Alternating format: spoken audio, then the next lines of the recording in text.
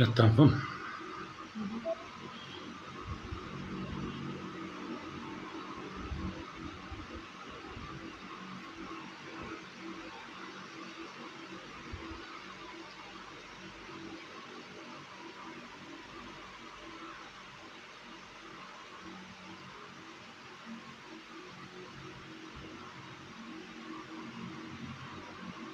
Gente, boa noite. Já tem bastante gente aí. Se vocês puderem ir compartilhando, nós agradecemos, tá? Nós já vamos só dar um tempinho para tentar compartilhar e já vamos começar.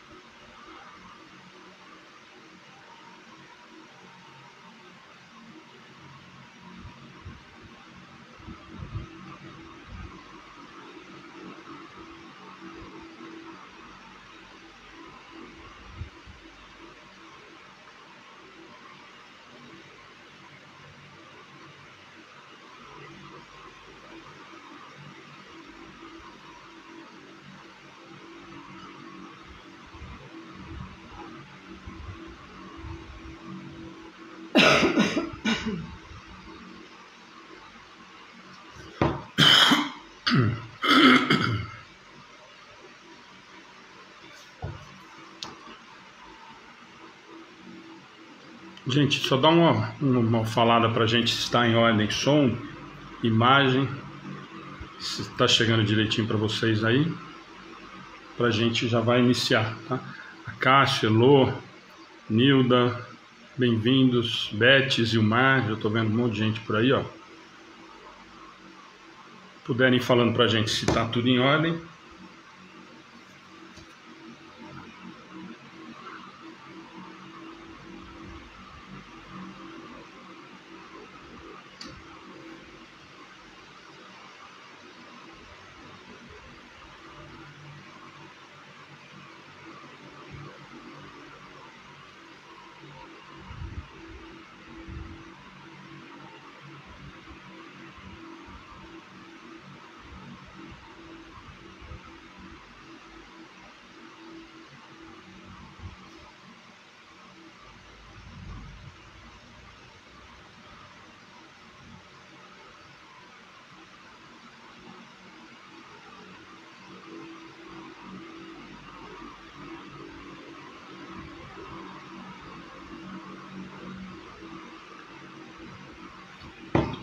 Tudo bem?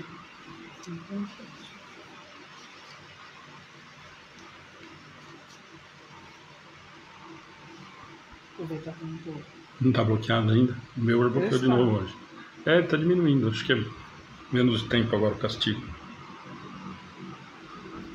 Boa noite, Joseph.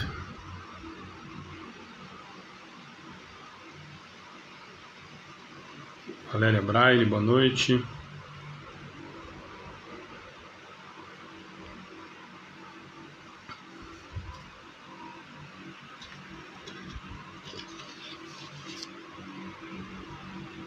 Josi tá, tá, tá ok. A Beth também tá falando que tá em ordem.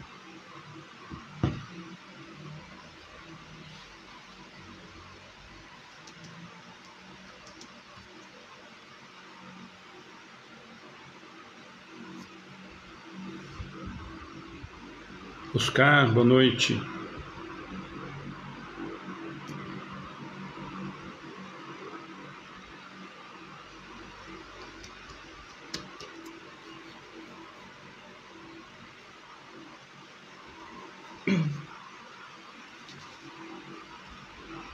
Anderson e Aline, boa noite.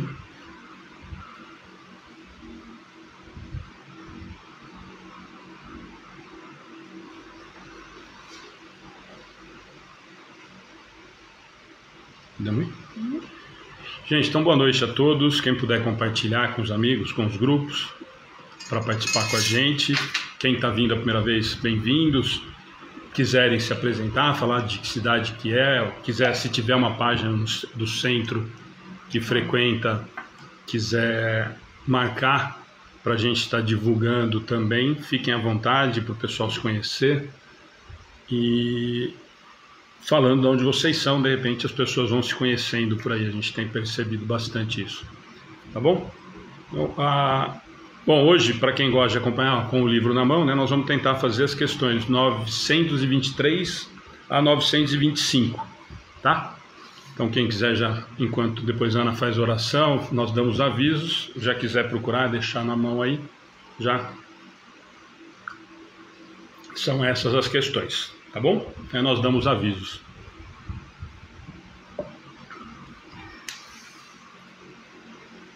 Boa noite a todos. Convido a todos a oração.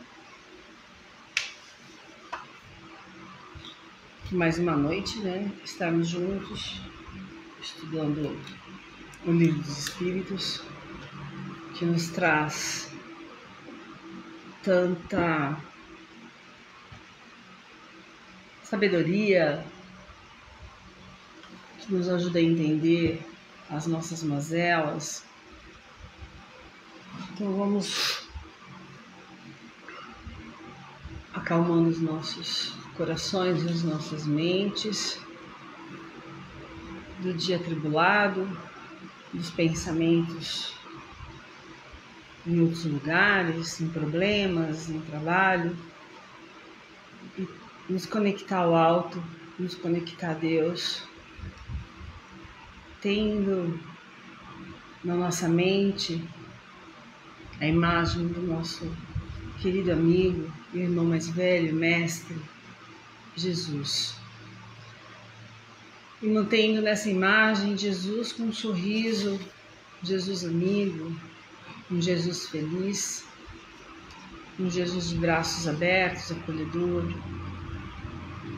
com essa imagem, elevamos nosso pensamento, chegamos mais próximos de Deus e agradecemos ao Pai por mais um dia, por mais uma oportunidade de estarmos encarnados neste planeta, tentando aprender um pouquinho mais no nosso dia a dia. Agradecer a Deus todas as coisas boas que nos aconteceram hoje e também as não tão boas assim como, como aprendizado. A Jesus, nosso mestre, nosso querido amigo, gratidão por estar conosco em mais um estudo.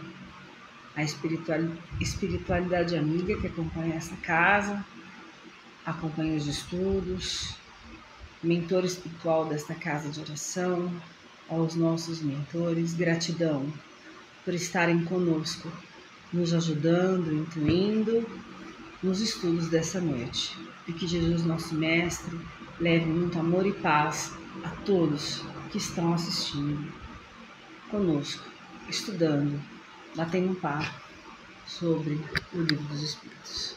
Que assim seja. Assim seja. Bom, muita gente conhecida de novo, uma alegria. Jim está aí com a gente de novo. Obrigado a todos que estão aí, que estão dando boa noite, que estão começando a participar com a gente. Eu coloquei de novo aí, a Zilmar perguntou, para quem quiser marcar, puder colocar no rodapé aí, 923 a 925, tá? A Zilmar já pegou lá. Então, se vocês puderem compartilhar e avisar aí com o resto do pessoal. Mas é 923 a 925 nós vamos tentar fazer. Entramos a semana passada na parte quarta do Livro dos Espíritos, das Esperanças e Consolações, no capítulo 1 das Penas e Gozos Terrestres. É bom a gente sempre lembrar o tema para a gente tocar. E nós vamos falar de, ainda, né, dentro do, do item felicidade e infelicidade relativas. Semana passada foi bem interessante, né? Nós acabamos conversando três questões, uma com muita conversa, com muita gente participando, foi muito agradável e nós acabamos discutindo bastante o tema, né? Que parece tão simples e não é. Mas nós vamos dar os avisos, a gente só deixa sempre as questões aí, foi uma sugestão do Edmilson, no Evangelho Lar, e então eu acho que é bacana mesmo. Falando do Evangelho no Lar, então amanhã, às 7 horas da manhã, nós temos a transmissão do Evangelho no. O estudo, como a gente tem dito, nós fazemos só pelo Facebook, por conta do.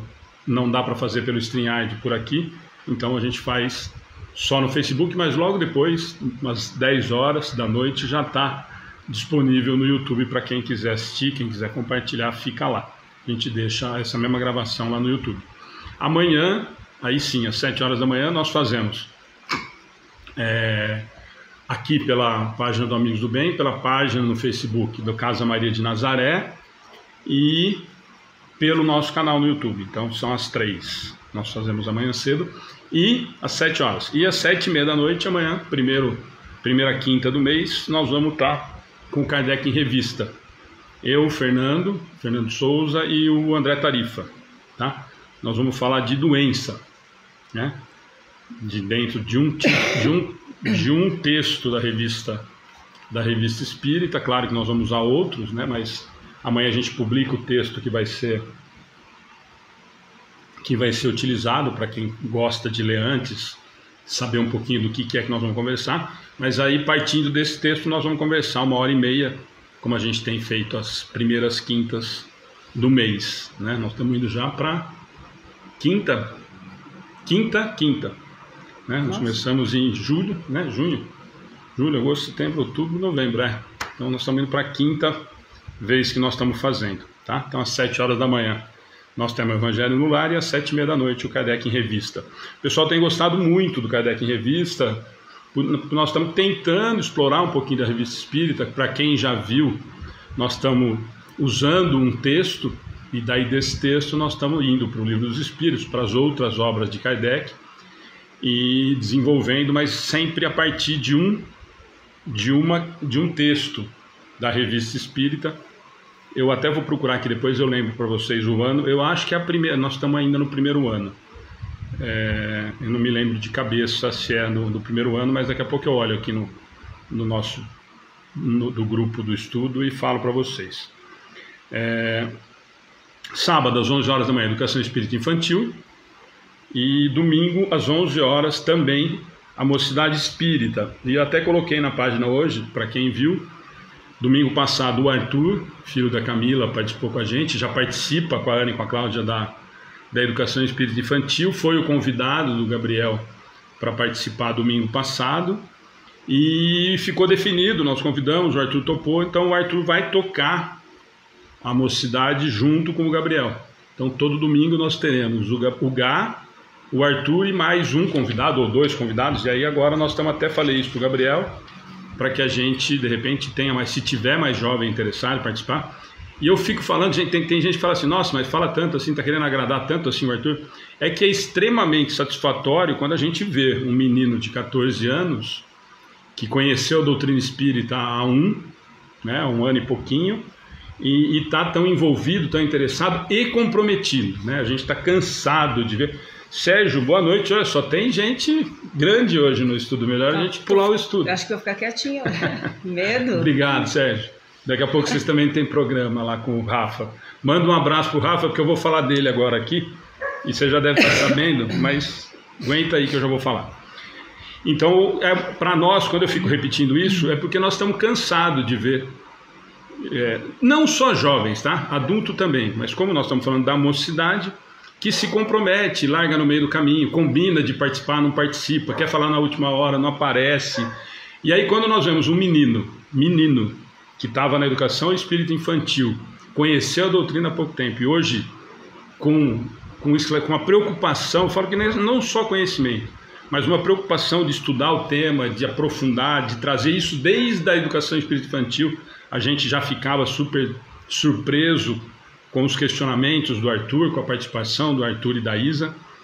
E aí realmente é uma alegria muito grande, né? A gente vê um menino crescendo, se interessando, né? se propondo a conhecer a doutrina e ajudar a trabalhar. Então eu falo mesmo, tem gente que eu sei que fica com ciúme, mas coloquem os filhos para fazer. Semana passada nós já falamos disso. Bom, eu acho que a Cláudia, a gente pode falar um pouquinho do Arthur. Começou com a gente, né? Nós tivemos o prazer de começar com esse menino, né, Cláudia? Uhum.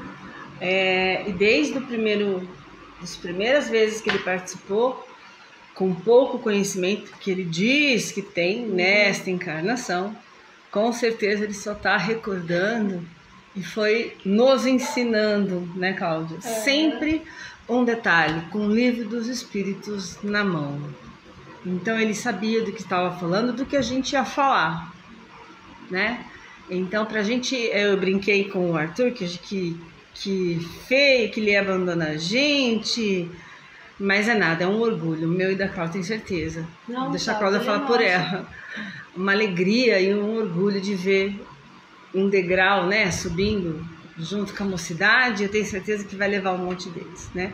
A Isa que não se atreva a abandonar a gente. Bom, tá recado da... Não, e outro, um sábado ele vem com a gente. Não, ele já falou que não. Ele falou que já não. Falou que não. Ele falou que não. Só ah, falou não. que ele foi promovido e ele que não volta para Ele falou que quem é promovido é promovido. Ele falou. É, já deu recado. Ah, não, é? depois, fora, eu fui lá falar com ele e falou: não, não, não, eu fui promovido. Não, e hoje ele respondeu no seu, no, na, na é publicação é nossa também. É. Nossa, magoou. É. Não, e sabe o que eu ia comentar? Que Daqui a pouco a gente já perdeu o Eros também, vai ver. É. Nossa, mãe, doeu. O que eu ia comentar é que eu acho uma graça, porque a Isa, né, a diferença de idade deles, e ela participa com desenho, do jeitinho dela, e ela tá dentro ali do assunto. Sim. Né, com as palavras dela. É, aquela, aquele dia que ela perguntou para se Jesus estava triste com ela, né? Aquela situação. Graça. Gente, uma criança na idade dela, preocupada diante né, da situação que ela passou.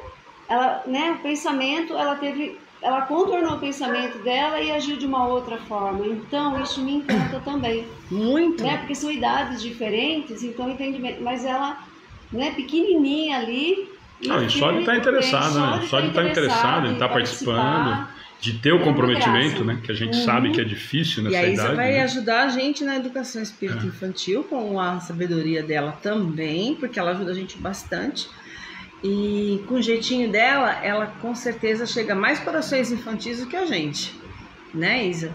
E convide as amiguinhas aí para participar com você, tá bom? Bom, já que eu falei da, da mocidade, da educação infantil, falamos do livro dos espíritos, eu vou aproveitar que eu o Sérgio está aí, daqui a pouquinho vai estar ao vivo com o Rafa.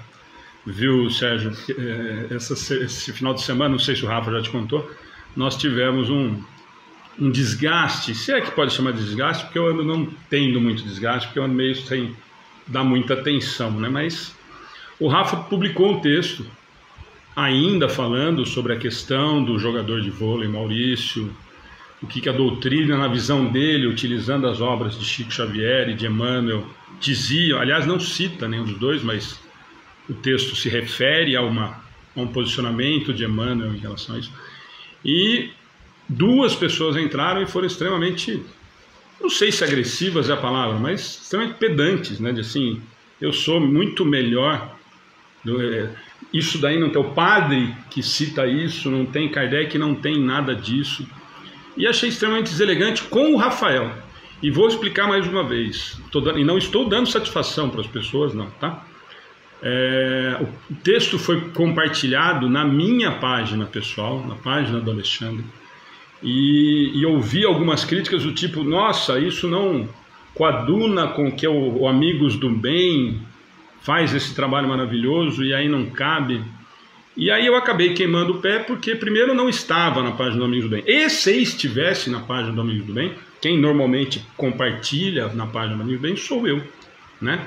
E tenho um respeito, um carinho pelo cidadão, pelo amigo e pelo grande trabalhador da doutrina espírita, Rafael Papa, que faz pela doutrina muito mais do que muita gente que, que critica sentadinho com o bumbumzinho na mesa. Então, que faz um trabalho junto, agora que eu vi o Sérgio aqui, faz um trabalho fantástico com relação a esse trabalho que estão fazendo já há um bom tempo às quartas-feiras à noite, que tem alguns bons livros publicados, que trabalha diuturnamente em nome da doutrina. O Sérgio estava falando, sim, meu amigo, acompanhei o texto. E isso eu estou falando do Rafael Papa. Agora, se nós formos ampliar para a crítica ao Chico Xavier e ao Emmanuel, aí eu acho que a batata assa um pouquinho mais, né? Porque e eu já te falei isso, tem algumas coisas que eu não concordo, não são os 450 livros que tudo tem ali que eu concordo que vão de encontro realmente com muita coisa do que tem em Kardec, mas eu não tenho a prepotência, a arrogância e nem me imagino no direito de criticar uma obra do tamanho. Se não existisse Chico Xavier, provavelmente essas pessoas que se dizem espíritas, catedáticos de, de espiritismo, não seriam espíritas porque provavelmente no Brasil não teria nem chegado o espiritismo. Então, se ficarem bravas, se não quiserem mais participar das páginas, das publicações, amigos do bem, super simples, gente.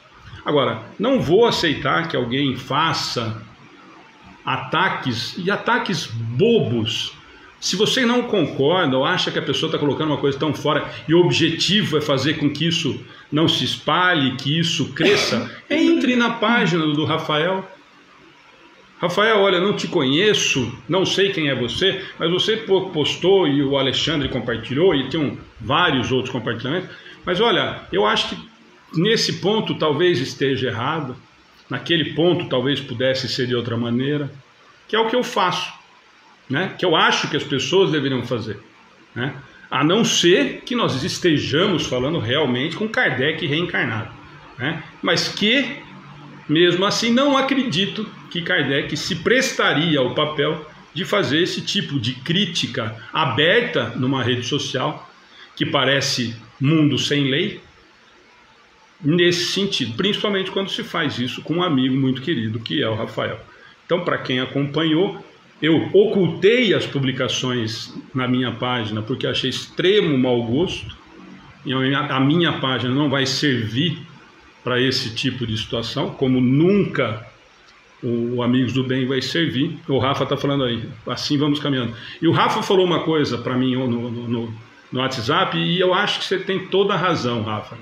Deixemos essas pessoas que são ditas a razão e continuemos agindo com o coração. Né? Eu sempre digo que as pessoas estão sentando atrás de livros de doutrina espírita sem colocar em prática porcaria nenhuma. Né? Então, é, quando a gente ouve, quando a gente entende, quando a gente fala em cura espiritual, quando a gente vai... e essas pessoas, outro dia eu falei isso para o Rafa, vou falar aqui publicamente, quando eu escuto de alguém que diz conhecer a doutrina espírita, divulgar isso doutrina espírita e fala que não acredita em evangelho no lar, que não acredita no passe, é, eu preciso repensar o que, que eu estou fazendo dentro da doutrina espírita porque vocês já ouviram a Ana falando 550 mil vezes que a primeira orientação que nós damos na nossa página, no nosso canal do YouTube, está lá há quatro anos um vídeo explicando como é que se faz o Evangelho no Lar, porque nos ajuda muito e nós acreditamos realmente que a espiritualidade nos auxilia nesse trabalho. Né? Então, só queria esclarecer isso, porque algumas pessoas viram e não dá para deixar passar. Eu estou eu acho que a gente isso não tem nada a ver com agressão, mas assim está é, tá na hora das pessoas tomarem cuidado. A gente fala tanto em caridade, em defesa das minorias, desde que é aquilo que eu brinco aqui sempre, né? Eu amo até quando você não discorda de mim, né? Então eu, eu defendo as minorias que eu quero defender, né? E você tem que concordar com isso. Né? Você tem que concordar com as minorias que eu defendo. Você tem que concordar com as bandeiras políticas que eu defendo. Senão você não é mais meu amigo. Senão eu fico de mal. Eu volto para a terceira série primária e não dou mais a bala, não divido mais com você o chocolate. E aí, sinto muito, mas não vai caber. E fiquem bravos, fiquem chateados. Estou andando, como diria minha avó. Então, tá dado o recado. Outra coisa, gente, os, os últimos avisos, porque hoje está bravo hein, essa semana. Hoje entrou um cidadão na página do Amigos do Bem. Estou entrando pela primeira vez na página e vejo conta bancária, PIX. Será que Chico Xavier ou Kardec concordaria? Eu respondi, acho que o cara não deixa responder, porque eu não consigo. Então eu pus o texto inteiro e respondi extremamente educado, mas, gente, Está lá na página, para quem quiser ajudar, para quem puder ajudar. Eu, o cidadão fala em nome de Chico Xavier, em nome de Kardec, em nome de Jesus e não se mexe. Nós utilizamos sim, nós pedimos sim auxílio, como Chico, que ele falou, que não deve conhecer a história de Chico Xavier, não deve conhecer o trabalho de Chico Xavier, ou ele imagina que Chico Xavier tinha dinheiro para fazer a assistência que fazia o trabalho desse homem. Ou esse trabalho era feito com auxílio de todo mundo, como a gente faz, como a gente pede, como o Rafael que vende o livro dele para ajudar nas obras assistenciais. Nós pedimos para quem ajudar, porque nós precisamos ajudar nas obras assistenciais. O Sérgio está falando, as casas espíritas precisam pagar água, força, telefone, internet, faxina. Ou, é o que eu sugeri para ele, me dê sugestões de onde plantar dinheiro. Que aí eu planto, nós não precisamos, não pedimos nada para ninguém, né? Aí as pessoas que nós assistimos, que nós pedimos por favor, e elas foram entregar essa semana a quantidade de cesta que nós conseguimos, foi menos do que o, o que precisava, e os ovos que foram doados, então me manda o dinheiro, só seu. E eu tiro da página do Amigos do Bem o, o número do Pix. Gente, tá chato. Façamos alguma coisa para que a coisa ande. Porque criticar é a coisa mais fácil do mundo. É uma coisa que eu entrar e falar, nossa, aquele programa do Sérgio e do Rafa lá, ah, podia durar 15 minutos, não uma hora. Mas você faz? Não.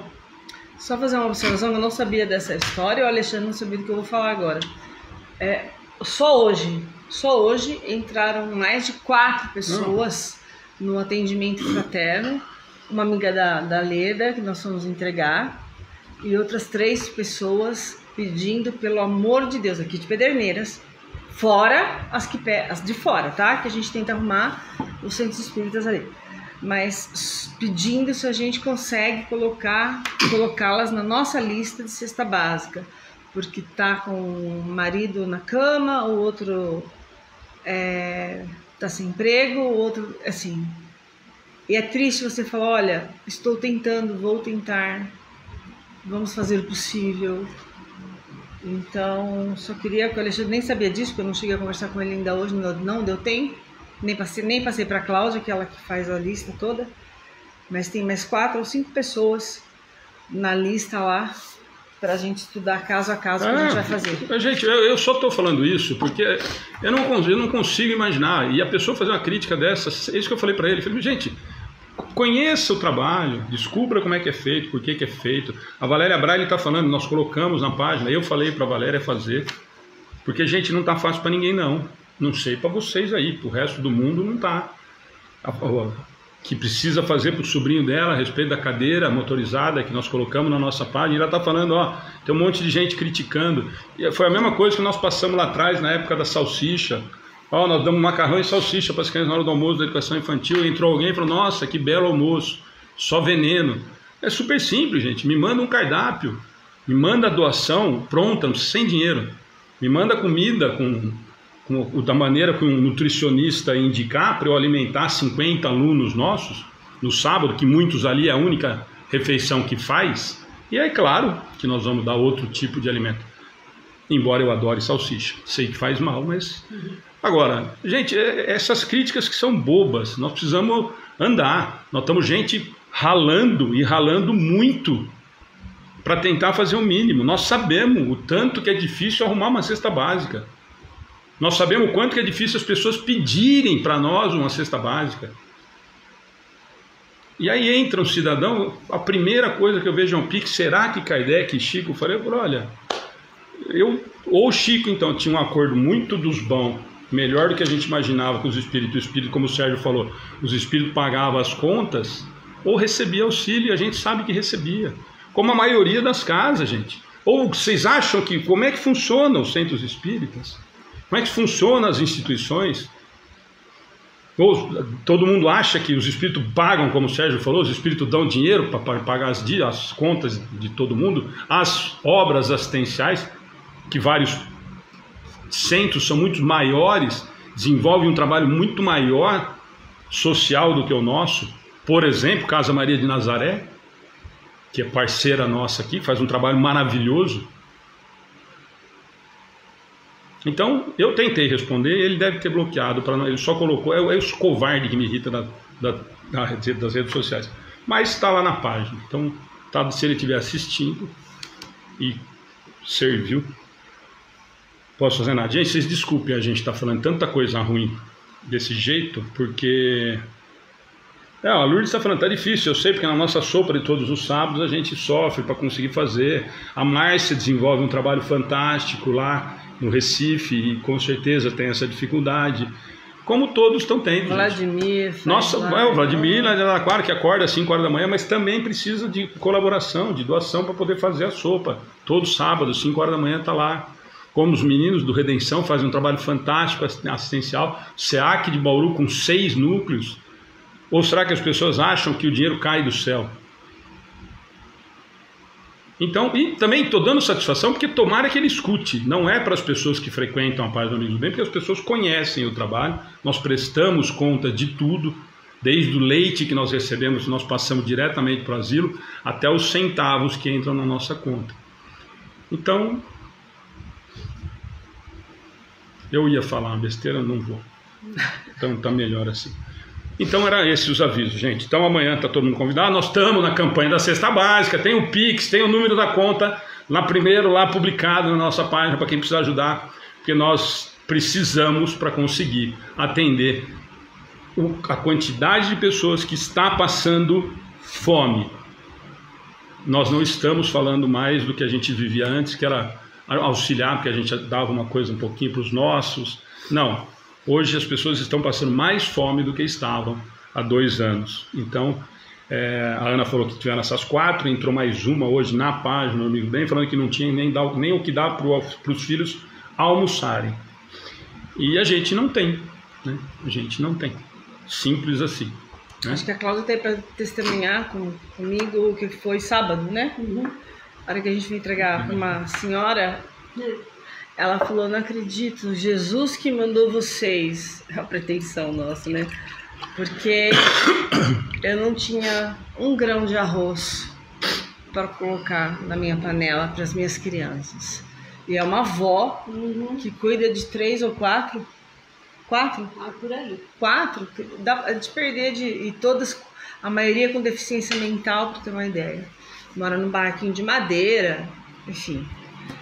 E nós chegamos lá, a mulher só faltou. Assim, a gente fica até emocionada e para você ver que o trabalho realmente é de Jesus, porque a gente tive, tinha que optar sábado.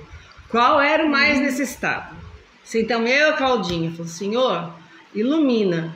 Qual é o mais necessitado? E realmente nós somos iluminadas. Todos que nós entregamos só faltaram ajoelhar porque não tinham o que colocar na panela. Bom, gente, tá dados os avisos, então nós estamos ainda realmente fazendo a campanha. Como eu falei para vocês, talvez agora, até o meio de, de novembro, já passei para o pessoal do asilo, a gente faça de novo a campanha para o presente dos, dos nossos velhinhos e a gente vai divulgando por aqui, tá bom? Então, vamos lá, quem está com o livro na mão aí, é, as questões 923 a 925, nós vamos tentar fazer. Então, ainda no item felicidade e infelicidade relativa, tá? Ah, a Márcia também está comentando no trabalho. Gente, então, beleza aí. Todo mundo ok aí? Dá, podemos começar? Então, felicidade e infelicidade relativas, tá? Nós fizemos três questões na semana passada. 919 a 920, não, 920, né? Não, 19, né? 919, 20, 20, não, 20 mesmo. 20, 21, 22, né? Então nós vamos hoje tentar fazer 923 a 925. Eu acredito até que a gente consiga hoje. Tá bom? Renata, bem-vinda. Bom, todos aí, gente. Quem quiser, como a gente sempre fala, quiser se apresentar, falar de onde que é, se é a primeira vez que está com a gente, é sempre bacana a gente saber, porque às vezes a gente não guarda. Tem os que estão toda semana, que já são amigos próximos. Às vezes a gente não lembra realmente quem que que está entrando pela primeira vez. Tá bom? Vamos lá? 923. O que para um é supérfluo não representará para o outro o necessário e reciprocamente, de acordo com as posições respectivas? Sim. Segundo as vossas ideias materiais, os vossos preconceitos, a vossa ambição e as vossas ridículas extravagâncias, a que o futuro fará justiça quando compreenderdes a verdade. Não há dúvida de que aquele que tinha 50 mil libras de renda, vendo-se reduzido a só ter 10 mil, se considera muito desgraçado, por não mais poder fazer a mesma figura. Conservar o que chama a sua posição, ter cavalos, lacaios, satisfazer a todas as paixões, etc. Acredita que lhe falta o necessário, mas, francamente, achas que seja digno de lástima quando ao seu lado muitos há morrendo de fome e frio, sem um abrigo onde repousam a repousem a cabeça? O homem sábio, a fim de ser feliz, olha sempre para baixo e não para cima, a não ser para elevar sua alma ao infinito. Vamos lá? Vou começar quando? Olha, eu li, reli, é complexa, porque o que para um está sobrando, que é o supérfluo, ele compra por comprar. Para o outro, aquele é o necessário, é o que ele precisa para viver. Aqui ele até citou ridículas extravagâncias. É aquela pessoa que gasta sem necessidade. Compra por comprar, comprou, é o que a gente falou semana passada, perdeu aquele aquela felicidade, aquele prazer em ter. E quando ele perde o que ele tem, ele até colocou aqui, ó, se ele ganha 50 mil libras, ele é reduzido, como a gente vê muitos casos de pessoas que perdem o que tem, ele, é, ele se acha um desgraçado, porque ele não é capaz de viver com aquilo que ele tem. E ele não olha que, enquanto ele usufruía, enquanto ele tinha de tudo, muitos irmãos estavam morrendo de fome, de frio, sem uma casa para morar porque ele olha só para cima. Enquanto o homem que realmente é evoluído, que tem sabedoria, ele olha sempre para trás, que a gente tem mania de só olhar para frente, a gente não olha o que está acontecendo atrás da gente. E, e eleva o pensamento, aqui quando ele disse é, a sua alma infinita, é quando ele ora. Somente nesse momento ele eleva o pensamento. Em todos os outros da vida dele, ele olha para todos os lados, inclusive para aquele que está digamos assim, abaixo dele que necessita de ajuda. É. Acho que já explicou bem, mas a pergunta é tão clara, né? Ele fala, né, o que, que para um é supérfluo, para o outro, né, res, é, no mesmo na mesma no mesmo instante, o que para um é supérfluo, para o outro é tão necessário, porque um tem bastante e o outro às vezes não tem nada, né? Posições respectivas, ele diz aqui. Sim, com as ideias que vocês têm da matéria, porque ele está dizendo exatamente isso. Nós somos ambiciosos, somos, né? Os nossos preceitos, as nossas ideias de felicidade está muito ligada à matéria, ao ter, né? Do momento, quer dizer, aqui ele fala em libras, em escravos, enfim, que era da época, né? Hoje você pode colocar carro, notebook, celular, casa, lancha, iate, sei lá, outras coisas que se eu tenho tudo isso, eu sou uma pessoa feliz. Aí eu perco a minha condição financeira, cai um pouco de nível e às vezes, muitas vezes talvez para aprendizado e é uma benção às vezes não ter mais aquilo que a gente tinha sobrando para a gente aprender, talvez seja aí Deus colocando seu filho no caminho certo, tentando mostrar, né? Aí a gente se acha, nossa, como é que eu vou viver sem aquilo? Como é que eu vou fazer sem aquele tantas coisas supérfluas, enquanto muita gente não tem o que a gente estava falando agora, simplesmente um prato de comida, né? E a pessoa que olha só, como a Cláudia falou, né? Só para cima ou só para frente, enquanto tem que olhar para baixo, o mais fraco, o mais necessitado, ajudando esse a subir e levantar os olhos aos céus numa maneira de agradecimento e gratidão pelo que tem, né? E não na cobiça de querer mais, mas gratidão pelo que tem. É, a Alzeli falou que estava com som, mas está todo mundo falando que está normal. Às vezes é alguma interferência, ele tenta sair e voltar, que nem os meninos falaram aí. Minha, minha voz que está bonita. E também. acaba ajudando. É, a Gisele está falando que a necessidade é a única de cada um. O material define a felicidade e na ausência dela se vê infelizmente. E não com a possibilidade de evoluir. Gente, a pergunta, eu sempre falo que a pergunta é fantástica. Né? É, Kardec, no, no, meu entendimento, ele fala assim: ó, o que para um é supérfluo não representará para o outro o básico necessário e reciprocamente, ó, o complemento da pergunta, de acordo com as posições respectivas. Então o que, que ele está falando? Ele falou: ah, para aquele ali que vive, ganha o salário mínimo, aquilo ali é o básico que está bom para ele. O outro, eu que ganho 100 mil, eu posso ter o supérfluo. Não está certo isso? E a resposta dos espíritos dessa vez eles foram pior que eu. Sim, segundo as vossas ideias materiais, os vossos preconceitos, a vossa ambição e as vossas ridículas extravagâncias. Aqui o futuro fará justiça, quando compreenderes o que é verdade. E depois ele vai falar tudo isso que nós já conversamos muito lá na lei do trabalho, nós discutimos muito isso daqui, né? Do, do supérfluo e o que, que é supérfluo. E acho que alguém comentou, se foi a Márcia ou agora ou a Gislene, que estavam falando exatamente disso daqui. Vou voltar no assunto do texto do tal do Maurício Souza. Eu posso exprimir a minha opinião? Claro, você tem todo o direito. Não quero que o meu filho seja homossexual? Não quero. Tenho como definir isso? Sinto informar o Maurício e a todos que não. Ah, mas eu não quero ficar vendo isso porque eu não sou homossexual. Não vejo. Mas então eu não posso, ele está errado, ele não pode falar que ele não gosta? Pode. O que ele não pode, nem eu, nem ninguém, definir o que é certo e errado. O que é certo para mim, muitas vezes é errado para o outro. Todos os que têm filhos sabem perfeitamente do que eu estou falando. Eu crio o meu filho, a maioria de nós criamos os nossos filhos dentro do que nós acreditamos ser o melhor.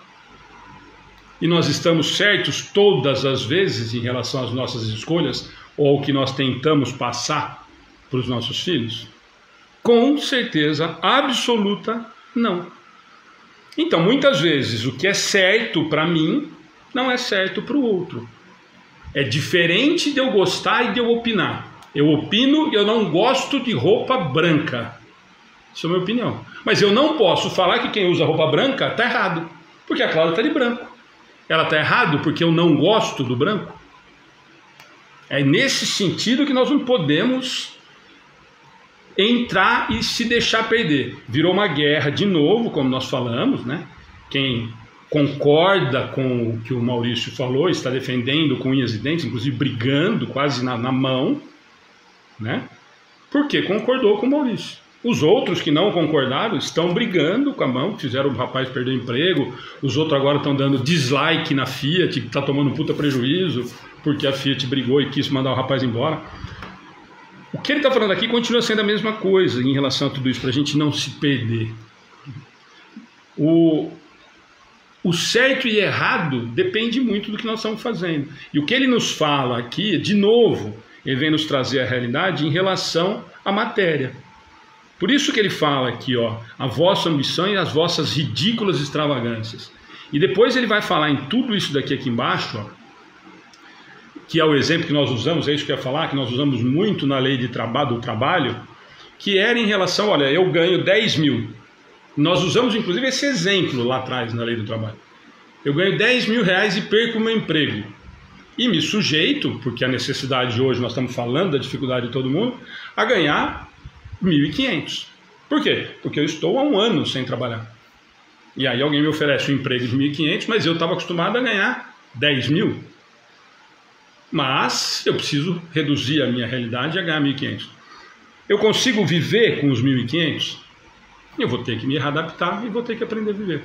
Por que, que ele fala das extravagâncias e que nós não entendemos ainda?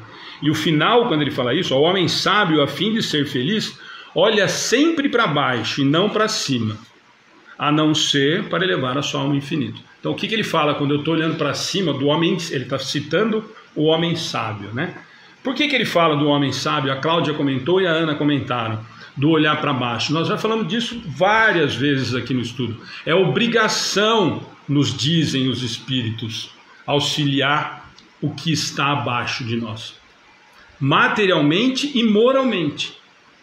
Os espíritos nos dizem isso várias vezes dentro da codificação, de que é obrigação nossa auxiliar o que está abaixo.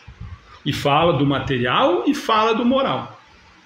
Então, quando ele fala isso, que olha, o homem sábio, a fim de ser feliz, que é isso que ele fala que nós somos, vivemos as nossas ridículas extravagâncias, é nesse sentido que ele está falando. Por quê? Lembra que nós falamos lá atrás, qual que é a felicidade para o espírito a semana passada?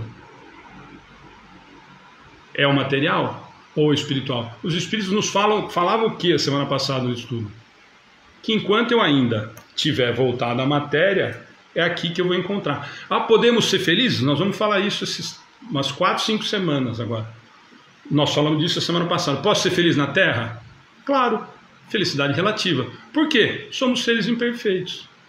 Nós ainda somos muito mais materiais do que espirituais. Então, quando que nós vamos ser espíritos felizes? Quando eu aprender a amar. O quê?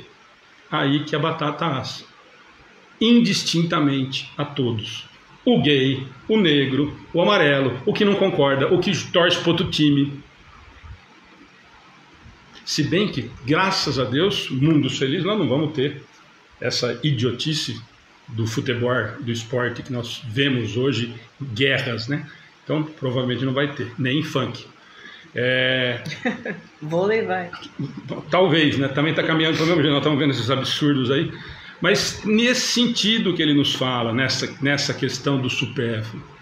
E eles, de novo, né, tem, vamos voltar sempre naquele assunto, eu posso ter dinheiro, senão vai voltar naquela conversa, não, mas ah, o espírita fala que não é para ter dinheiro. Ué, nós temos muitos, e nós vamos falar disso, né, das provas da riqueza, de novo, que eles vão nos citar em relação a tudo isso, na, da semana que vem nós vamos falar muito desse, desse assunto, que a prova da riqueza muitas vezes é mais difícil, muito mais dura do que a, a da pobreza, mas ele fala, e aqui ele cita, e a Ana colocou, tentou transformar na, no, na realidade atual, de que ele fala isso aqui, ó, não há dúvida de que aquele que tinha, que ganhava 50 mil libras, vendo-se reduzido a só ter 10, se considera muito desgraçado por não mais poder fazer a mesma figura, conservar o que chama sua posição. Isso é o mais dolorido eu acho, para nós ainda no estado que nós estamos. Que muitos ficam muito mais doloridos pela perda da posição social do que em si da renda. Por incrível que pareça. Né? Porque aí eu não tenho mais é, eu não tenho mais os meus amigos, os mesmos, né, que não eram amigos, enfim. Então é, é nesse sentido que ele fala. Você não conseguia entrar no clube, então? Exatamente. Não, é, não, mas tem um monte que vai no clube deve mensalidade. Conheço vários. Eu trabalhei em clube a vida inteira, eu sei muito bem disso. Né? Os famílias tradicionais, então, nem se diga. Mas acha, mas francamente, acha que seja digno de lástima quando ao seu lado, a morrendo de fome e frio, sem um abrigo onde repousa a cabeça? E aí ele vem com, essa, com o ensinamento do final. de que é, mais uma vez, ele vem nos falar que é obrigação nossa de auxiliar o de baixo. É, e o de cima, obrigação dele auxiliar a gente. É isso que eles estão nos dizendo e eles falam isso repetidamente. Repetidamente. Várias e várias vezes eles nos falam isso, de que é obrigação, de que é necessidade. E eles repetem no final, ó, de que eu sou o homem sabe a fim de ser feliz. Ele não fala em obrigação. Por quê? Porque quando eu entender, quando eu realmente souber o que é amar, eu vou ser feliz em auxiliar. Eu não vou perder meu tempo entrando na página do Amigos do Bem para falar que tem que dar dinheiro. Mesmo porque nós não pedimos dinheiro, né? Até escrevi para o cidadão lá. Está escrito lá quem quiser e nós prestamos. Mas é nesse sentido que ele está falando. Quando nós entendemos que o, o servir, a Márcia falou aí, olha, eu não tinha dinheiro, mas eu ia fazer a sopa, e isso me dava uma alegria imensa. Quando nós entendemos e quando de verdade isso nos fizer ser feliz, nós estamos entendendo, nós estamos entendendo um pouquinho do que é que é tal desse amor. Que aí é sem interesse, eu faço porque eu fico feliz em ver que o outro está recebendo algum tipo de, de coisa que vai fazer com que ele fique melhor. E aí a pancada é maior ainda, né? Olha sempre para baixo e não para cima, a não ser quando eu quero me conectar com o Pai. E isso ele está citando o homem sábio. Né? Ele, eles dizem para nós que o homem sábio é esse. Que ele olha sempre para baixo e não para cima. Que só me viro para cima quando vou tentar me conectar. Mais algum aí? Hum. A Márcia falando aqui, ó, é só perder o emprego que os amigos, até no dia de aniversário, não atendem o telefone achando que você vai pedir ajuda. A Lourdes, pois tem 40 questões, eu não entendi se tem é. alguma coisa a ver com. Não, da, da, do, das esperanças e consolações. Ah, tá. Acho que foi isso que ela colocou, porque é uma pancada de, de questão, né? Então, não sei se são 40 é. que eu fiquei perdido. É. Vamos lá? Mais algum comentário aí, gente, do pessoal que está participando? Eu vi alguns, mas. Tem gente nova aí, tô vendo. Não, mas hoje Dilce Ribeiro, boa noite. Canoas, Rio Grande do Sul. Sumir sempre está com a gente. A Maria de Fátima também às vezes está com a gente. Lucas Seixa, bem-vindo. Deixa eu só ver aqui se tem mais algum, gente. Gilmar, boa noite. Gilmar está por aí, já vi. Bom, gente, vocês vão ajudando aí nos, nos comentários aí para gente ir conversando. Vamos lá, 924? Há males que impedem da maneira de proceder do homem e que atingem mesmo os mais justos. Nenhum meio terá ele de os evitar. Deve resignar-se e sofrê-los sem murmurar, se quer progredir. Sempre, porém, lhe é dado aurir consolação na própria consciência, que lhe proporciona a esperança de melhor futuro se fizer o que é preciso para obtê-lo.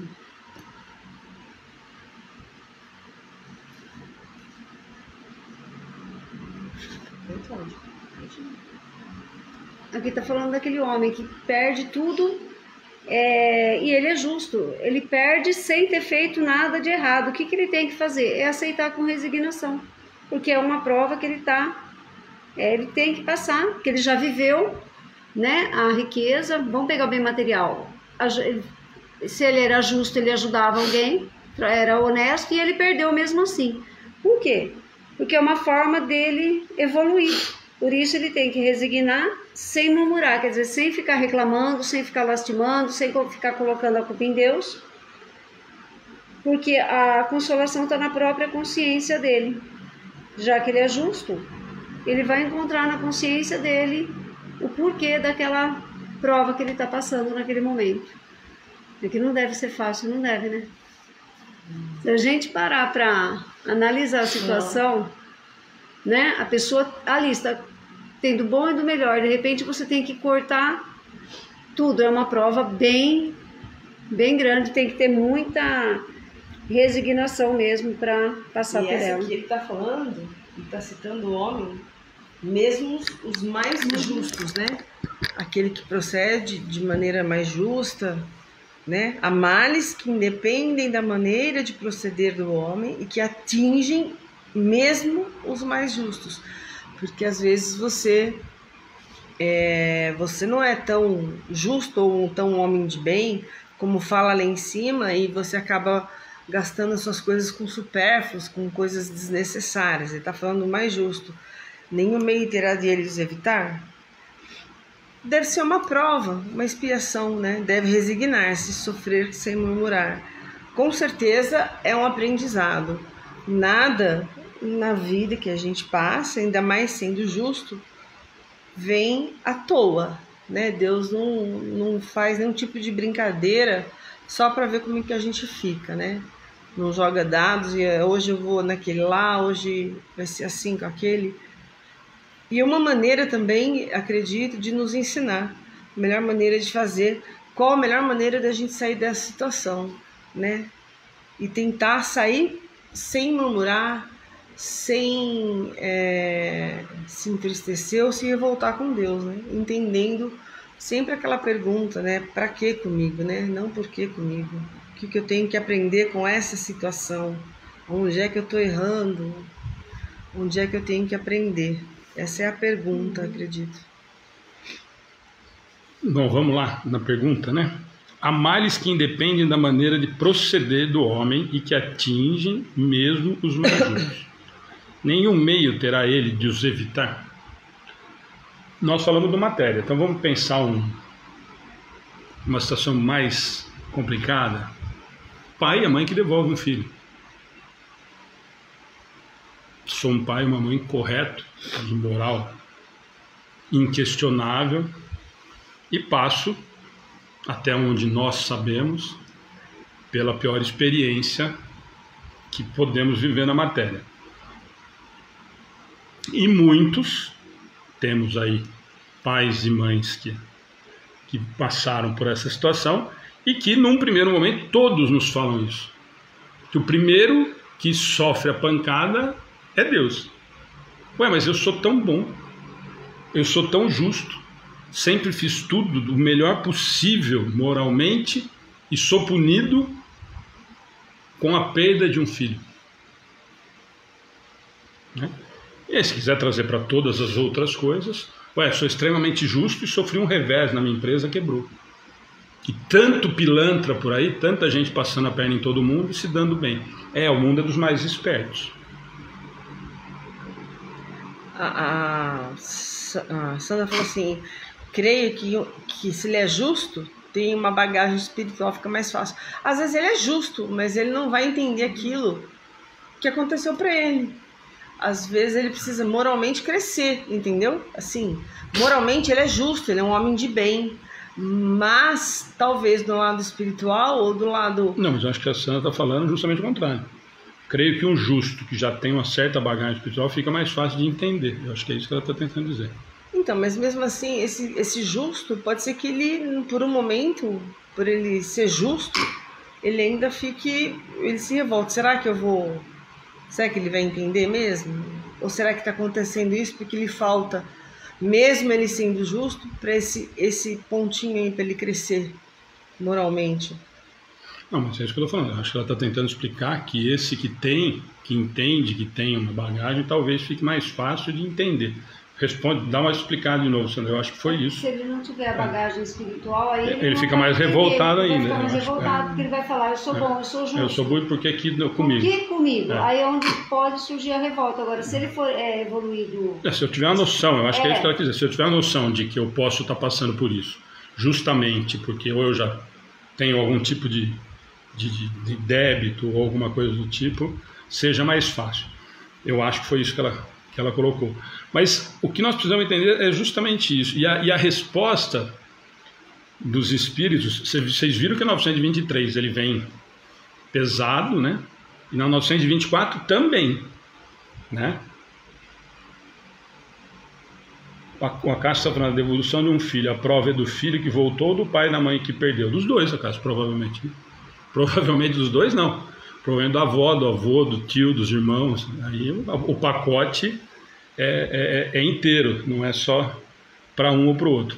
Mas o que eu falo é que a resposta dos espíritos na 924, por isso que eu trouxe a questão da, da, da perda de um filho, que todos nós ouvimos, não sei os que passaram, podem falar com mais propriedade do assunto, que é a, a pior dor, a pior, o mais complicado de se viver. Um mal, por exemplo, que nós enxergamos como mal. E não adianta ninguém vir me falar, nem os catedráticos que estudam doutrina espírita aí, e tentar é, justificar de que não, não é para sofrer, porque eu não conheço nenhum pai, nenhuma mãe que nos procurou, que nós conversamos a respeito de doutrina espírita e que me fala que não passou por um mal. Né? Não consigo.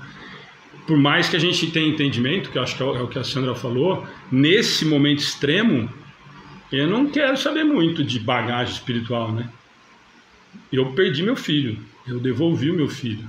E, e nessa hora é muito complicado. Mas a lição, e é isso que eu falo, que os espíritos nos mostram, a resposta é muito dura para esse extremo. E vou mais longe, não só para esse extremo, mas para quase todas as situações. Que eu acabei de dar um exemplo. Quer dizer, imaginem você que é um trabalhador correto, você tem o seu comércio e você sabe que o seu concorrente é um cara desonesto, que frauda, que compra carga roubada, que é trambiqueiro, e o cara está indo de vento e poupa e você quebra o seu negócio. E a sua família depende daquilo. Ah, mas não dá nem para comparar com a perda de um filho. Claro que não, mas eu estou usando um exemplo material e um outro, que talvez sejam mais fáceis da gente entender. A resposta dos espíritos é muito dura, mas é o que a doutrina nos fala o tempo inteiro. Deve resignar-se, sofrê-lo, e aí vem a pancada, sem murmurar. Né? E, e, e que nós consigamos entender que esse sem murmurar, eles provavelmente estão falando do, do, de não se colocar como o sofredor, de não se vitimizar, de não envolver várias outras coisas, porque eles colocam o seguinte: ó, se quer progredir. Então, deve resignar-se e sofrer sem murmurar, se quer progredir.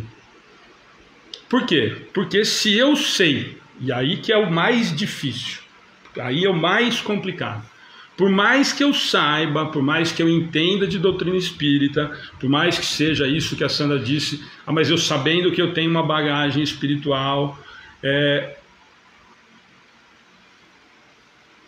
não é fácil de você entender e colocar em prática de que isso era o melhor que tinha para acontecer. É aquilo que eu sempre digo, depois de um tempo, depois que você consegue assimilar pelo menos essa separação ou esse momento na parte material que você consegue se reestruturar, fazendo alguma, algum sentido, é que eu vá querer entender isso, porque num primeiro momento você não vai me convencer. Né? Eu não tenho mais o meu filho aqui, eu não tenho mais o meu pai aqui, eu não tenho mais o meu irmão aqui, quer dizer, Daí a eu realmente acreditar, e eu, a doutrina espírita nos oferece isso, de que isso era necessário, como é, e isso tem, eu sempre falo isso nas provas, né? É, na, na prova, na palestra, que o mais complicado, e a gente tem que tomar um cuidado muito grande, quando você vai chegar para uma mãe ou para um pai que devolveu um filho e falar: olha, isso era o melhor para você. Tenha certeza. O pai e a mãe é capaz de sair, você pegar você matar você na pancada. Num primeiro momento. Óbvio que nós sabemos, o, o Osmar colocou, né? O que é a prova para o espírito? Passar pelas situações com entendimento e manter a fé com sabedoria. Essa é a prova, né, Osmar? Ou às vezes até expiação, né? Porque devolver um filho deve ser mais para expiação do que para prova, né? Mas o que eu acho muito difícil, muito complicado, é a resposta que a doutrina nos oferece em todas essas situações e de que nós ainda, por estarmos no estágio que estamos, temos essa dificuldade muito grande. Deve resignar-se e sofrê-lo sem murmurar, se quer progredir. E ele complementa, que eu acho fantástico, aí sim, um pouco mais de doçura, sempre, porém, lhe é dado a aurir consolação na própria consciência. O quê? Ó, eu sei que eu estou aqui para isso, o Osmar acabou de falar. Que lhe proporciona a esperança de melhor futuro, se fizer o que é preciso para obtê-lo. O que, que é preciso para fazer para obtê-lo? Passar por isso, sem murmurar e com resignação. Por quê? Porque eu sei, eu entendo, ou eu consigo vir para o racional, que é o que a doutrina nos oferece, de que realmente isso era o melhor para esse espírito que voltou e para quem estava em volta. Então a Caixa perguntou: é para o filho ou para o pai? Para todos, provavelmente, uma situação tão grave. Mas, por exemplo, para essa situação do material, com certeza alguma lição era necessário. Se não é nada ao acaso, gente, se, não, se nada é feito aos olhos do Pai que não seja para o nosso bem, Ele não vai nos deixar, não vai nos deixar acontecer. Essa é a resignação que eles nos oferecem na 924. E eles vão nos falar mais para frente, quando a gente terminar esse felicidade e infelicidade, quando nós falarmos de perda de gente querida. Né? Tem mais água, se quiser. Eu quero. Você pega, por favor. Deixa eu só ver se tem mais algum aqui, enquanto a...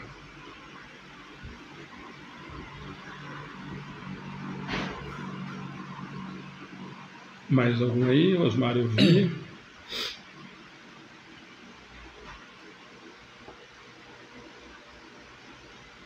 Mais algum comentário aí, gente? O acaso. Hum.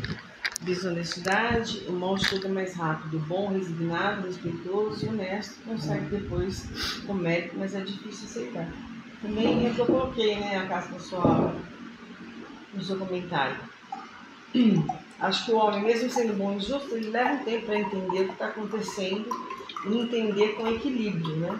E voltar a ter o equilíbrio necessário para voltar e, se for materialmente, a, a, a conseguir né, entender tudo aquilo e voltar à sua sem.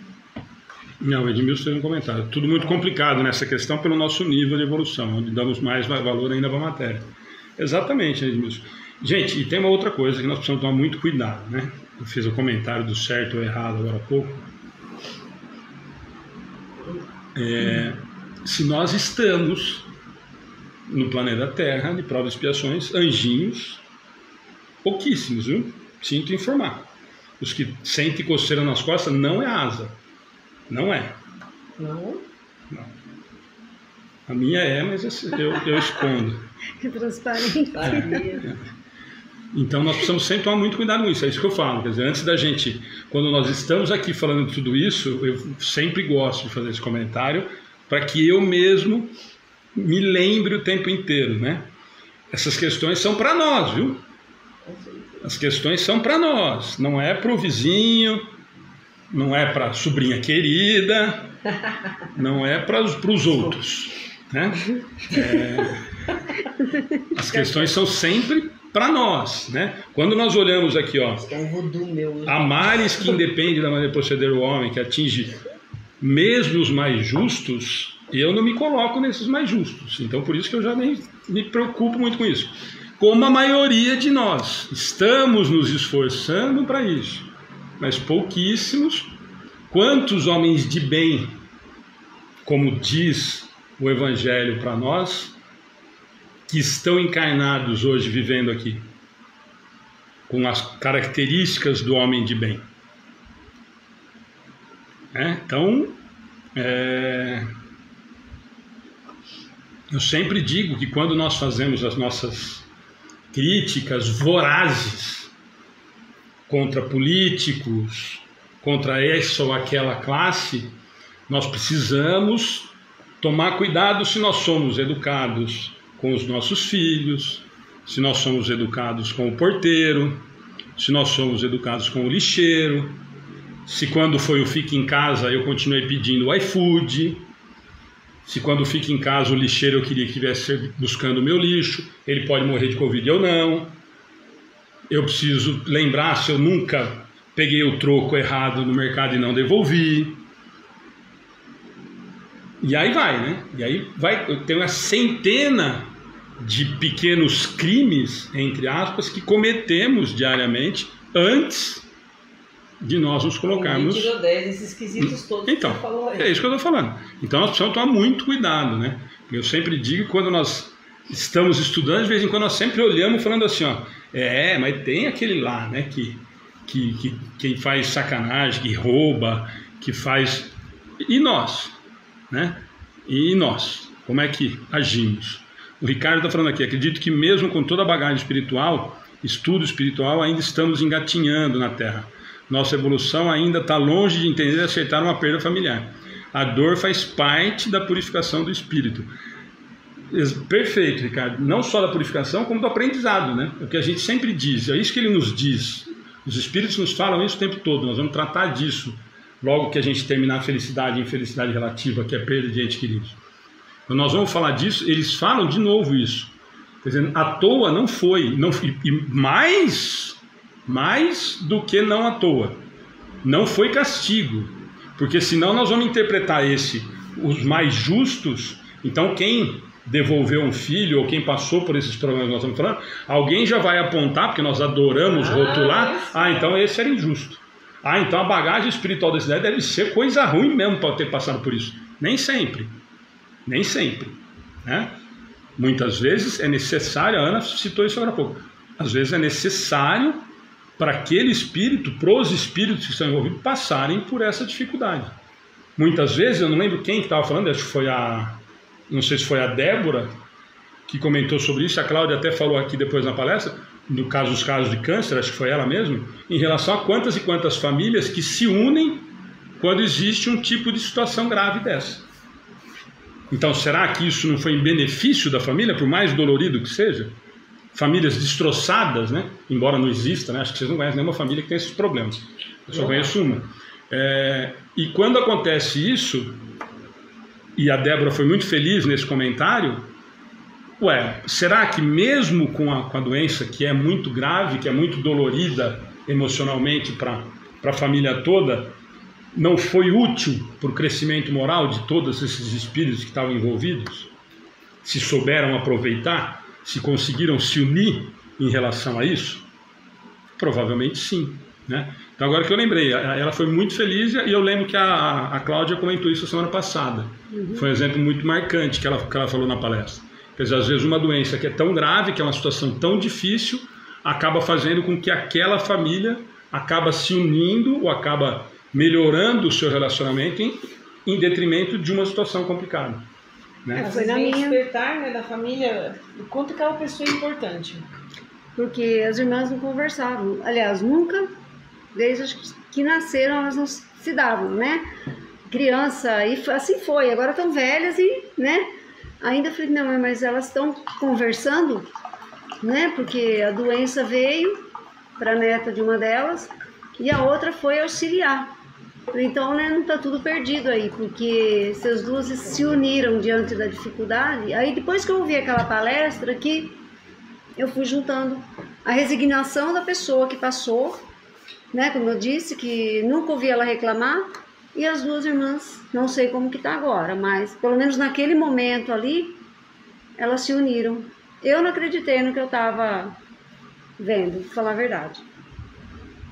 Aí a gente começa a entender um pouquinho, né? Ou pelo menos tentar, é, né? mas é por isso que eu, por é isso que eu lembrei desse exemplo agora. Quer dizer, é uma situação muito dolorida e de que com certeza auxiliou a ajustar algumas coisas. Bom, e é, e é o que os espíritos nos dizem o tempo todo, né? É por uhum. isso que eles uhum. dizem deve resignar-se e sofrer sem murmurar, é nesse sentido.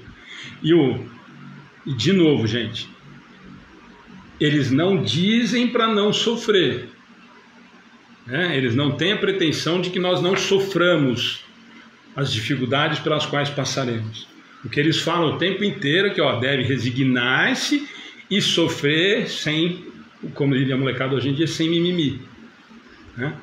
Porque se eu entendo, aí sim, se eu entendo que isso era necessário, claro que eu vou ficar triste, eu sempre falo isso para as mães, para os pais, Óbvio que você tem direito de ficar triste e não vai passar a saudade. Mas o que eles nos orientam, se nós quisermos aproveitar a situação que nos foi colocada como prova ou como expiação, é de que eu passe resignado por isso.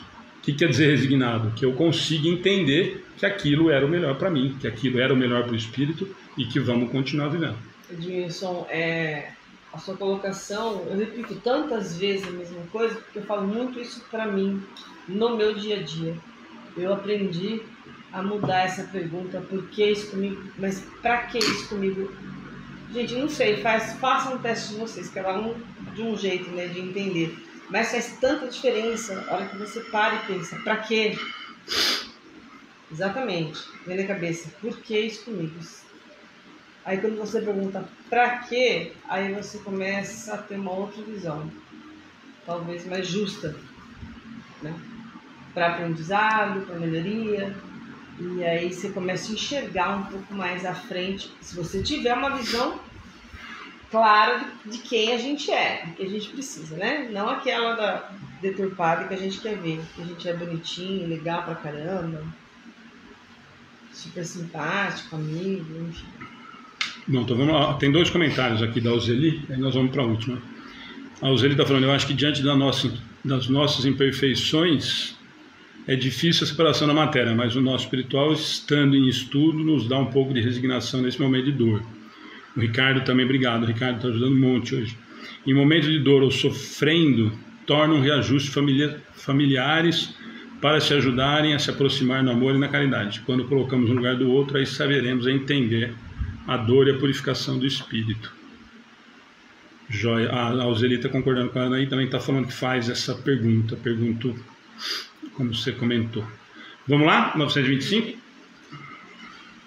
Por que favorece Deus com os dons da riqueza a certos homens que não parecem tê-los merecido? Isso significa um favor aos olhos dos que apenas veem o presente mas fica sabendo, a riqueza é frequentemente prova mais perigosa do que a miséria. Falamos isso sábado, né, Tom? Uhum. Os meninos também falaram na mocidade. Sim. A prova da riqueza, né? É a prova, porque ela vai desenvolver egoísmo, ambição, a vaidade, o orgulho a pessoa muitas vezes pode se achar melhor que as outras. E aquele, aquele que já está acostumado com o pouco, é mais fácil, eu acho que até dividir. Ele entende a dor do próximo. E não é só isso, né? Aquele que já. Vamos, vamos pensar num espírito que está reencarnando, já nasce com tudo, né? Uhum. Ali. É, pouco esforço ou nenhum ele fez para ter. E aí, quando chega a adolescência ou a juventude, é difícil você passar alguns valores e para esse espírito, né, encarnado, que ele tem que batalhar, que ele tem que crescer por si só, né? Porque materialmente ele já tem tudo.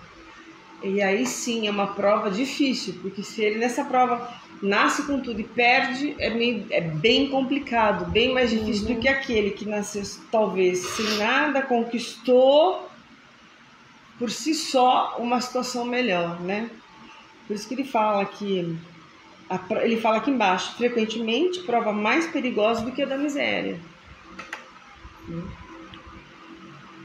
Bom, gente, é, de novo a pergunta, né? Ao Kardec. Por que favorece Deus com os dons da riqueza a certos homens que não parecem tê-los merecido? Olha a pergunta que Kardec fez. Falou, aquele ali veio com tudo pronto, fraquinho, mas não merece. Vagabundo, hein? Aquele ali não faz nada. Aquele não presta. Olha o Kardec julgando. Olha a resposta dos espíritos.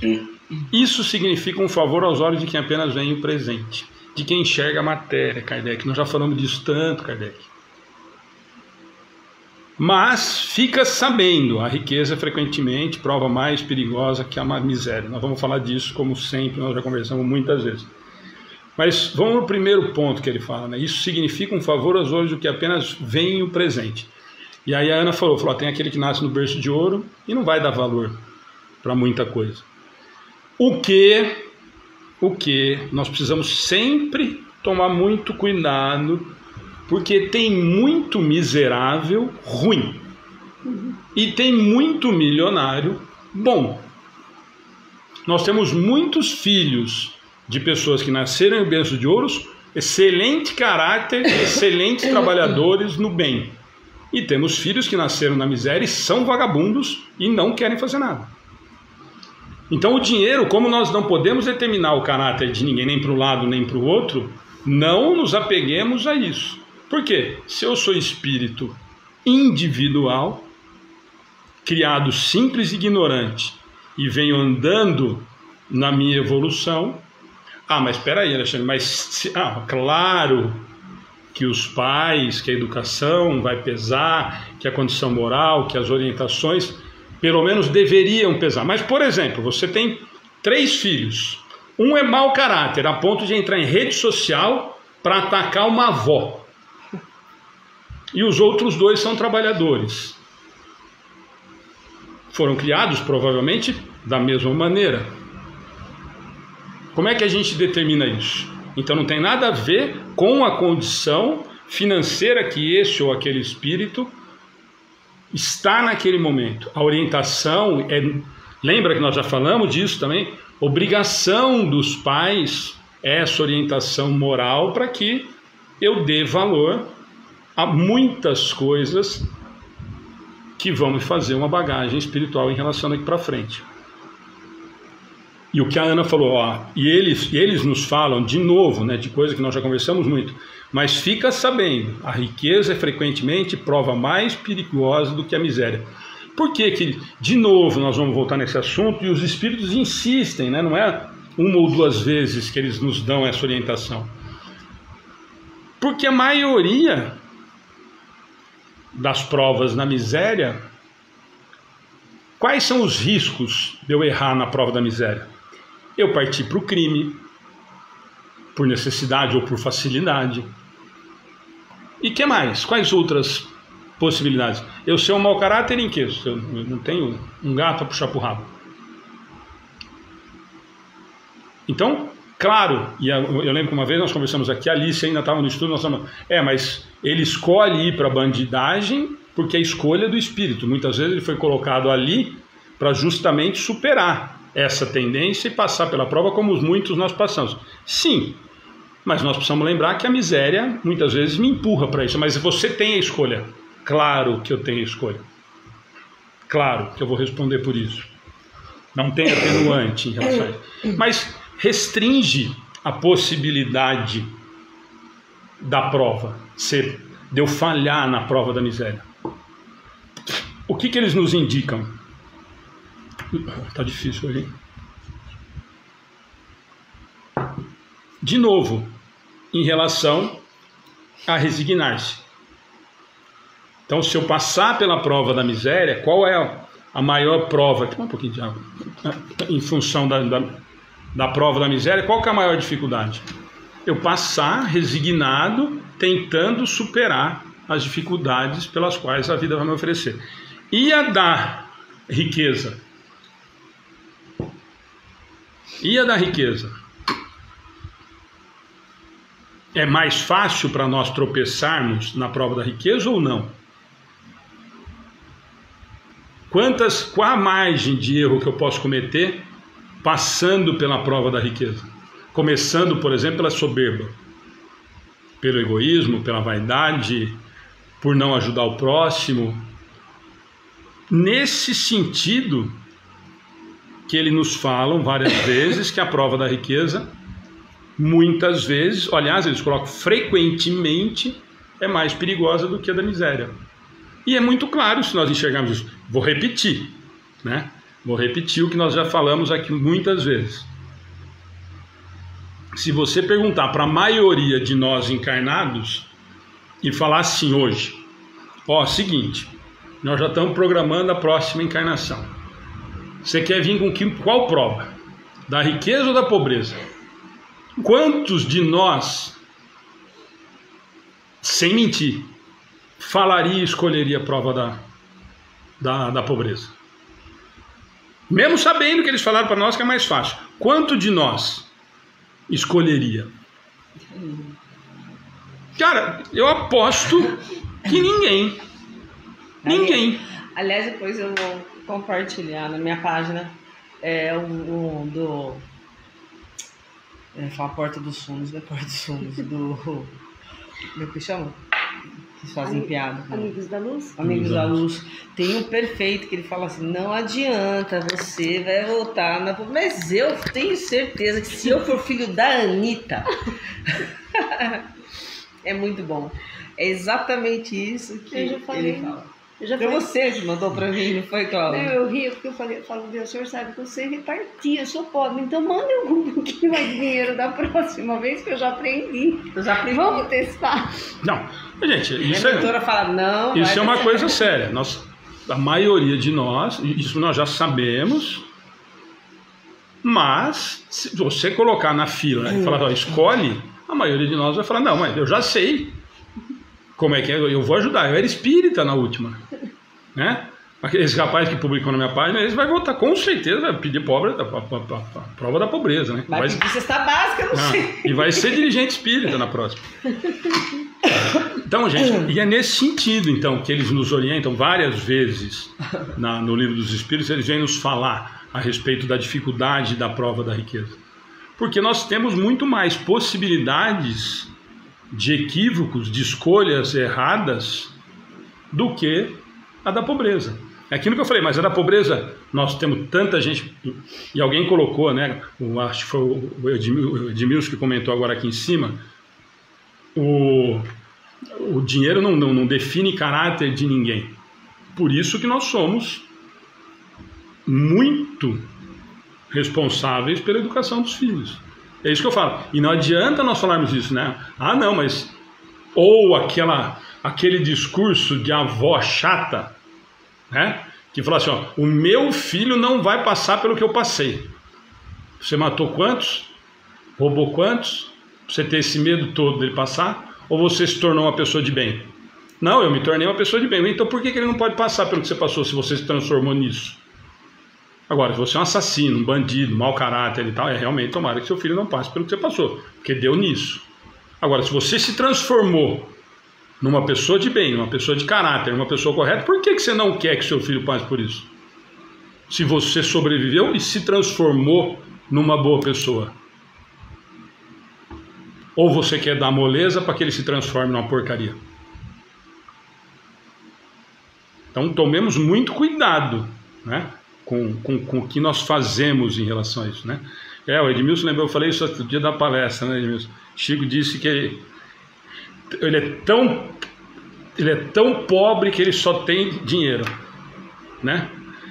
Então por isso, gente, que eles falam várias vezes, nós conversamos sobre essa a dificuldade e para nós realmente é muito difícil.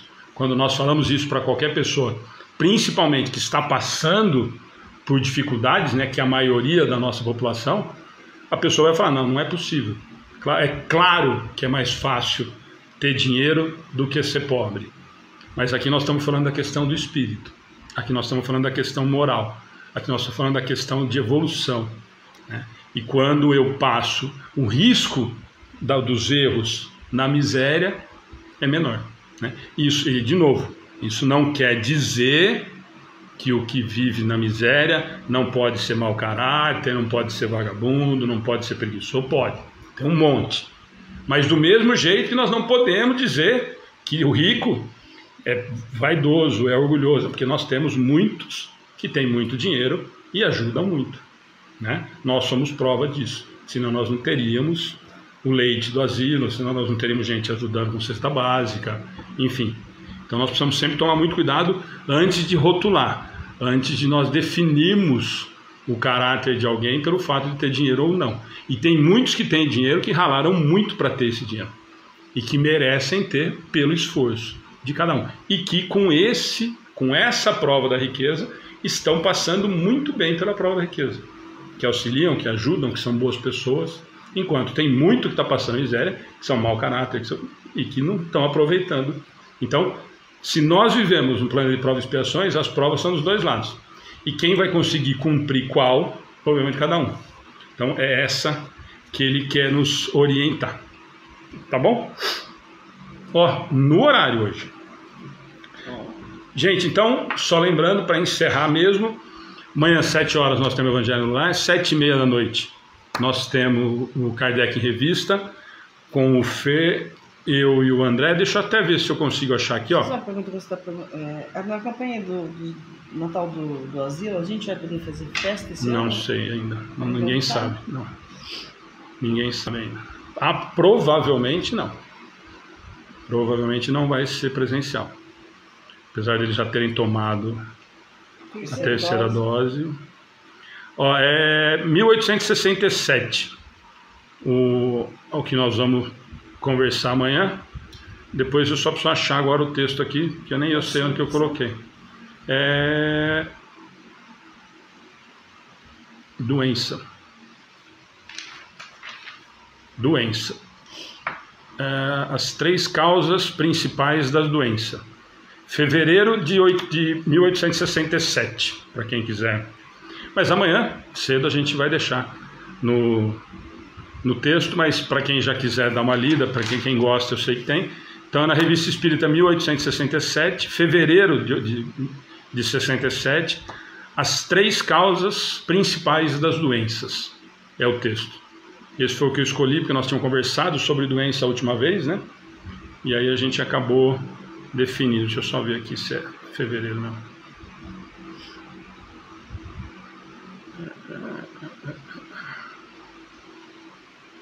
Aqui, ó. É isso mesmo.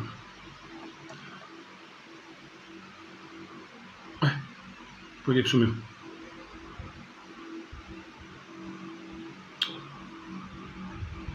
Ah, gente, depois eu colo e mando para vocês. Nós vamos deixar na página lá. Vocês acompanhem por lá. Mas para quem quiser ler, então, é 1860, fevereiro de 1867, as três principais causas das doenças. Então, vamos falar da doença do corpo espírito, perispírito e corpo material. O texto fala disso, é curtinho, enxuto, mas a gente vai trazer outras informações. Tá bom? Então amanhã, 7 horas, Evangelho lá, 7 e meia, Kardec em Revista. Sábado, Educação Espírita Infantil. Sábado, às 3 horas da tarde, nós vamos estar com cartas consoladoras lá em Duartina, Casa Maria de Nazaré. Nós vamos compartilhar a transmissão.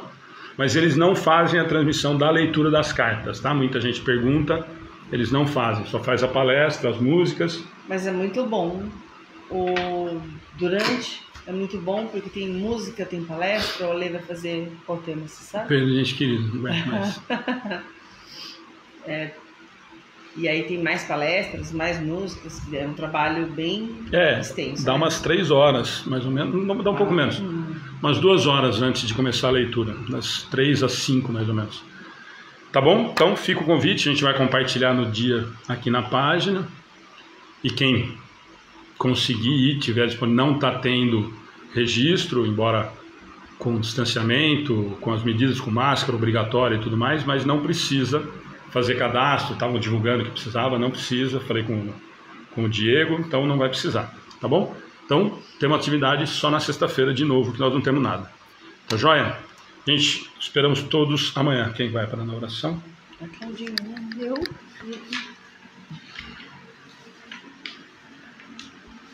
Vamos elevar o nosso pensamento a Deus, agradecer pelo dia, por estarmos aqui. Gratidão a todos os nossos irmãos encarnados e desencarnados que participaram desse estudo. Vamos agradecer a Deus sempre pela vida pela cura dos nossos entes, dos nossos irmãos que estão nos hospitais, pela chance que eles tiveram, pela oportunidade de conseguirem é, mais um tempo aqui conosco para poder evoluir. Vamos mandar boas vibrações para os nossos amigos, ampliando para a família, para todos os nossos irmãos que moram nos nossos bairros, na cidade, nos asilos e principalmente por aqueles que estão sofrendo nos corredores dos hospitais, aguardando por um leito, por um atendimento. Que os nossos irmãos espirituais percorram, iluminem os médicos, os enfermeiros, para que consigam cuidar da melhor forma possível e trazer aconchego, procurar tirar a dor física desses nossos irmãos. Que todos nós tenhamos uma noite de paz, de amor, com muita luz, e que o nosso amanhecer seja envolvido por paz e que possamos enfrentar o dia com resignação, sabedoria e que Jesus esteja sempre conosco. Que assim seja.